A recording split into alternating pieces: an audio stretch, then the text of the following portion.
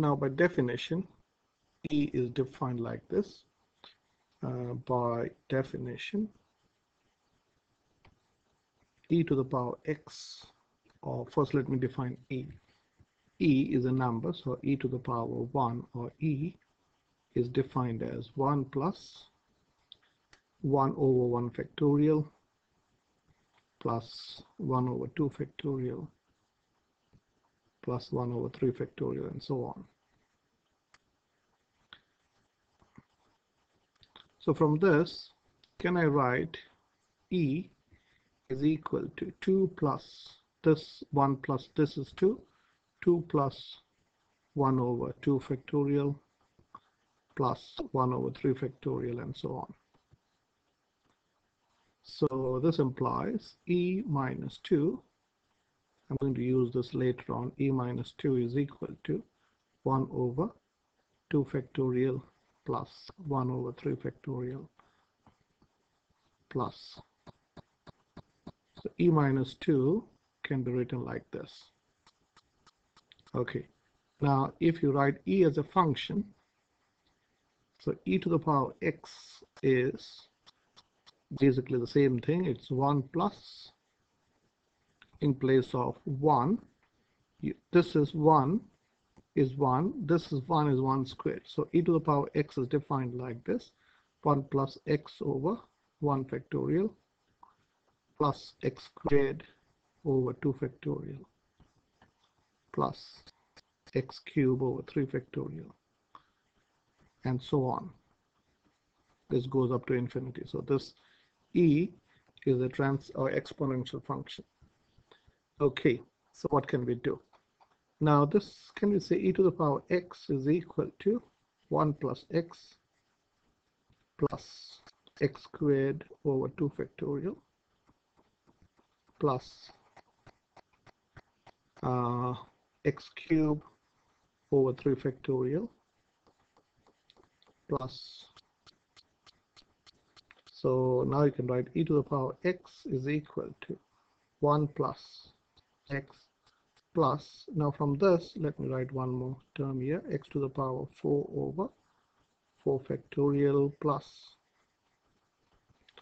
So if you factor out x squared from here I can write 1 over 2 factorial plus x over 3 factorial.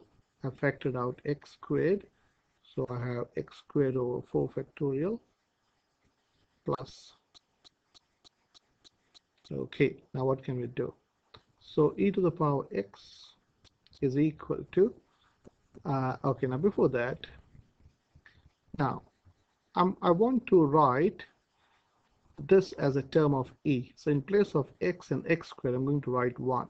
So if you write 1 in place of x and x squared, this equality will change it to an inequality.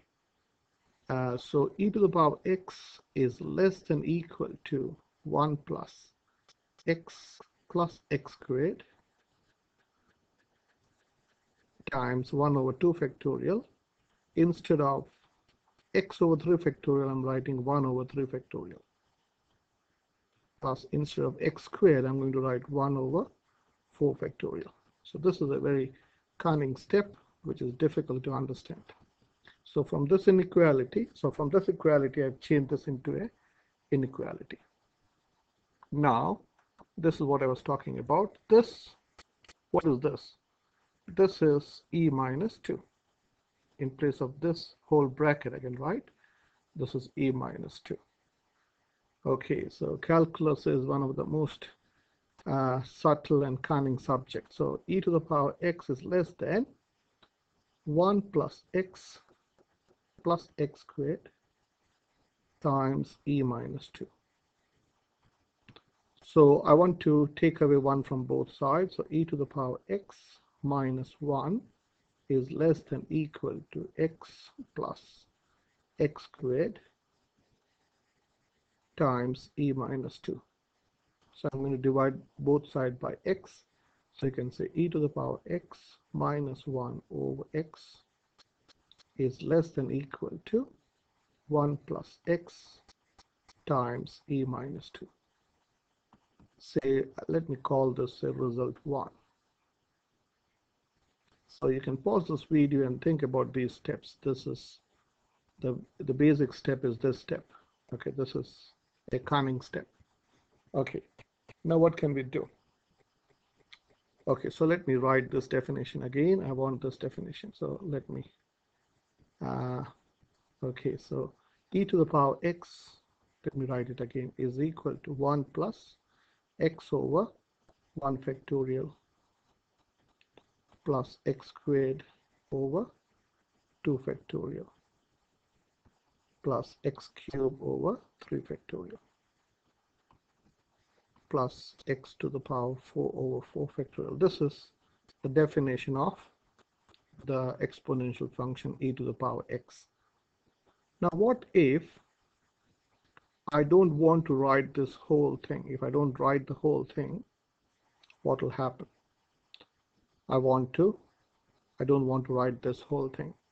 So well, you can write, but then you have to change the equality to an inequality. So e to the power x is going to be greater than equal to 1 plus x. Now where, how can it be equal? If x is 0, e to the power 0 is 1. And this is also going to be 1. But if it is anything greater than 0, e to the power x, e to the power x is going to be greater because I'm taking on the right hand side only 1 plus x. So now what can we do? If we take away 1 from both sides, e to the power x minus 1 is greater than equal to x. Now dividing both sides by x, e to the power x minus 1 over x is greater than equal to 1. This is result 2. Okay, so from result 1 and 2, what can we say? Okay, so I want to see both. Okay, therefore, from 1 and 2. From 1 and 2. If you, if you want to join both this, in, in 1 and 2, this is a common expression. So I can write e to the power x minus 1 over x is less than equal to, is greater than equal to. It is greater than 1, e to the power x minus, not 2, sorry, over x over x is greater than 1 and less than 1 plus x times e minus 2.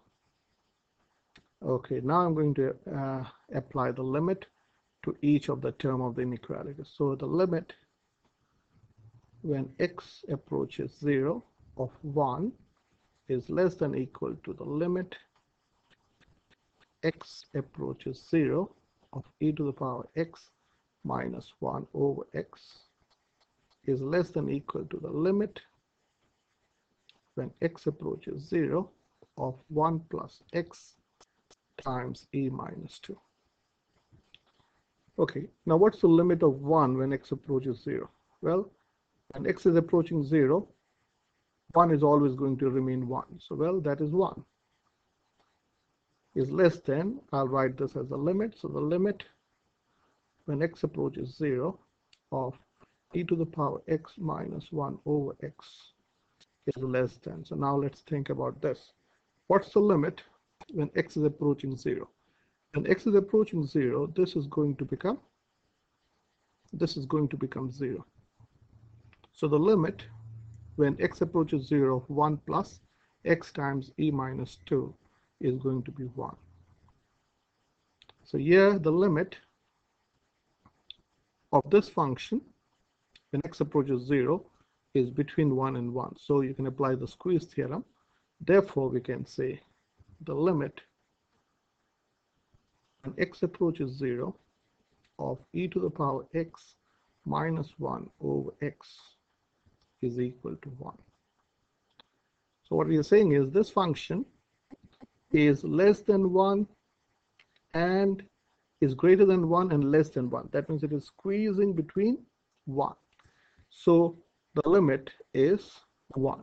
Now to understand this graphically, if you graph this, I'll show you on a calculator later on.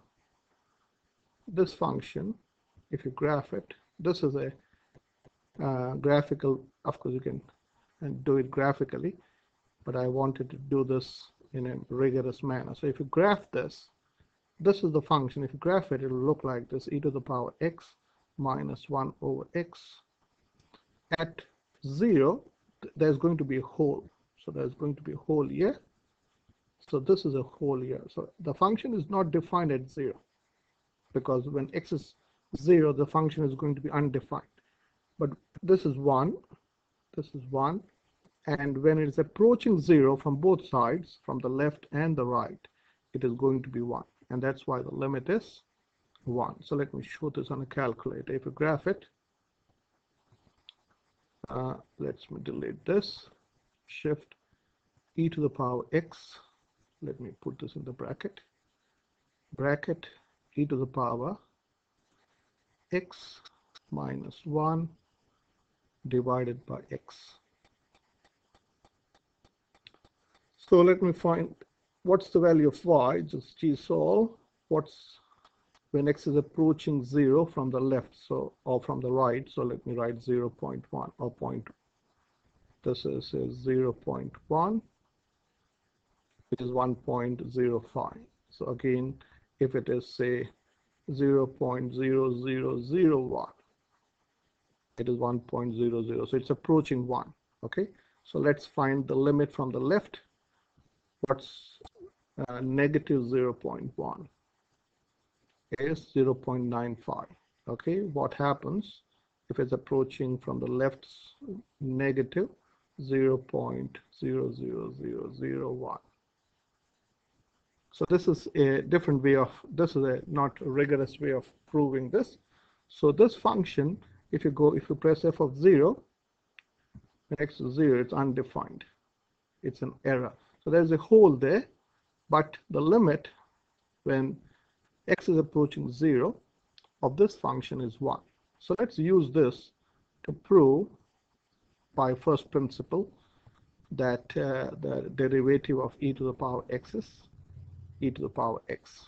So, so let's say f of x is e to the power x. Okay, and I want to prove f dash x is also e to the power x. Now this is one of the amazing uh, functions in calculus even in maths. Okay, so by first principle, so f of x, f dash x, by first principle is the limit when h approaches 0 of f of x plus h minus f of x over h. So this is equal to, we know f, so f dash x uh, f, f of x plus h would be e to the power x plus h minus e to the power x over h for the limit when h approaches 0. So here, I hope you can understand f of x plus h is e to the power x plus h. So that's why in place of x I put in place of uh, x, I put x plus h. So using the log rule, so this is the limit when h approaches 0 of e to the power x times e to the power h minus 1 over h. Okay, so this is equal to, so e to the power x, sorry, this is not 1, e to the power x. Okay, so now what can we factor out? So this is the limit and h approaches 0 of, if you factor out e to the power x, you have e to the power h minus 1 over h. So now let me apply the limit to the second part. So this is the same as writing e to the power x times the limit when h approaches 0 of this function, which is e to the power h minus 1 over h. And we have just proved that this is 1. The limit e to the power h minus 1 over h is going to be 1. So this is e to the power x times 1, which is e to the power x.